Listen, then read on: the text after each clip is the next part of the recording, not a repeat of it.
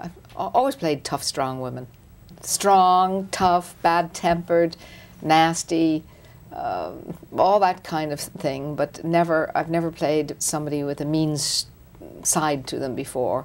I've always played tough, strong women. Now, why is that? Why? Yes. Well, I'm five feet eight inches tall.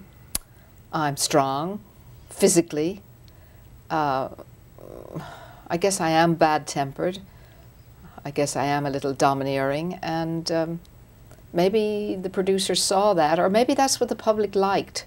And also, I think that's why I worked with such strong men because I was able to stand with those men toe to toe and be a, a good foil for them because I was also very strong.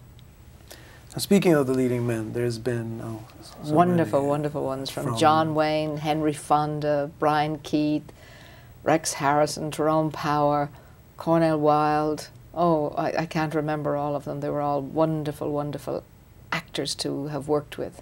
Could you point out uh, a, a, favorite, if possible? Well, it's not. It is possible, of course. John Wayne.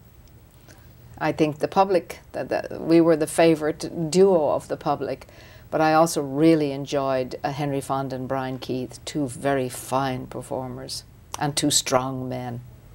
What was it in that chemistry between you and John Wayne? How how was it that you worked so well?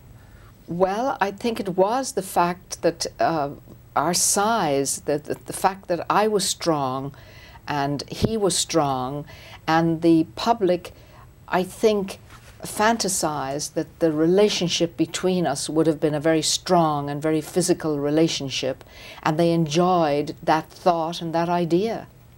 And the fact that we did stand toe to toe and punch it out together. And I think that I think the public enjoyed that. We did.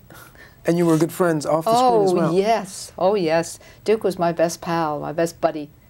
Was there a special relationship, a special bond, uh, professional uh, with, John, John Ford? Ford?